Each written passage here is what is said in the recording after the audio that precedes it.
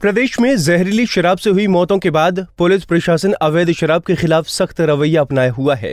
Police मिलावटी शराब का कारोबार करने वालों की धरपकड़ कर उन्हें सलाखों के पीछे भेज रही है।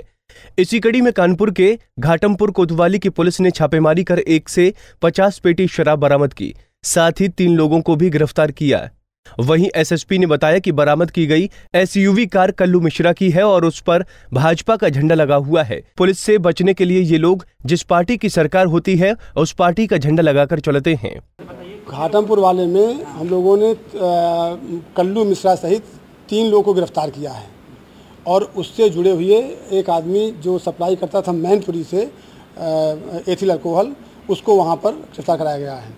तो तीन लोगों को गिरफ़्तार किया गया। एक शहनवाज अस्कान कर रहा है, वो भी फैक्ट्री कहीं रन कर रहा है, उस पर भी हमारी टीम लगी हुई है, बहुत जल्दी हमने दो टीम लगाई हुई उनको गिरफ़्तार कर लेंगे। उधर बांदा में पुलिस को एक बार फिर से बड़ी सफलता हासिल हुई है, जहाँ मुखबिर की सूचना पर पुलिस और आबकारी टीम ने संयुक्त कार्रवाई करते हुए कोरम गाँव में छापेमारी कर अवैध शराब की बड़ी खेप पकड़ी। बरामद की गई बारह सौ पेटी शराब हरियाणा की बनी हुई है, जिसकी कीमत पचास लाख से अधिक बताई जा रही है।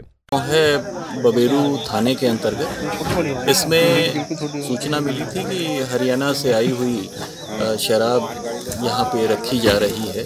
ये भूरा पटेल सन ऑफ़ रामकिशोर पटेल का बोरिंग पे बना हुआ कमरा है। यहाँ पर रखे जाने की सूचना मिली थी। इस पर हमारे आबकारी विभाग और पुलिस की संयुक्त टीम द्वारा इस पर छापा मारा गया और इसकी कीमत लगभग थोक में 35 लाख होती है लगभग।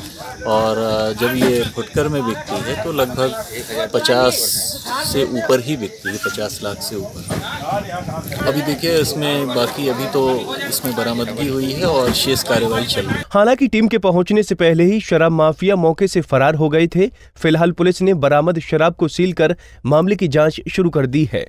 पंजाब केसरी टीवी के लिए कानपुर से अमरीश त्रिपाठी और बांदा से ज़फ़र अहमद की रिपोर्ट।